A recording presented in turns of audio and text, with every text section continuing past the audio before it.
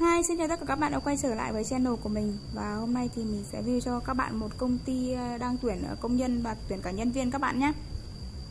Nhân viên thì ờ, yêu cầu là tuyển nhân viên phiên dịch tiếng Hàn Nhân viên phòng kế hoạch sản xuất, kỹ sư quy trình, kỹ sư thiết bị, nhân viên văn phòng Mức lương thỏa thuận các bạn nhé.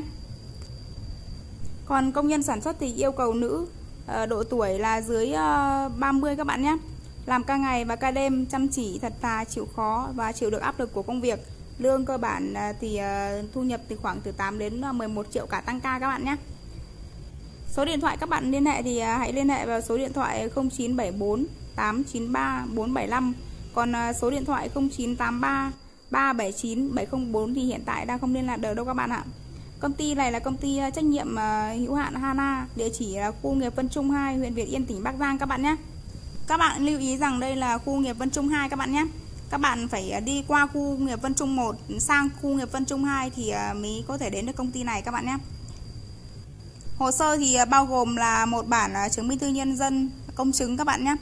À, ưu tiên uh, chuẩn bị trước một sơ yếu lý lịch có dấu chính quyền của địa phương giấy khai sinh bản sao công chứng giấy chứng nhận sức khỏe của y tế từ cấp huyện nhé. Một uh, sổ hộ khẩu bản sao công chứng một bằng tốt nghiệp uh, trung học cơ sở, trung học phổ thông, bản sao công chứng, bằng cấp có liên quan, giấy xác định nhân sự, hai ảnh 3 x 4 các bạn nhé.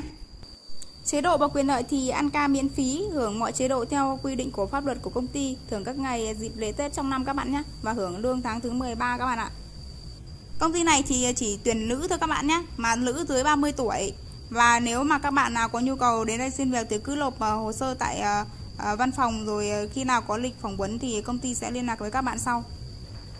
Và cuối cùng thì mình chúc các bạn xin được một công việc ờ, hợp lý và ưng ý nhé.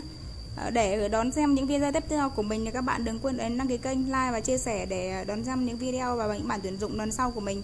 Bây giờ thì mình xin chào và hẹn gặp lại các bạn trong những video lần sau. Bye bye!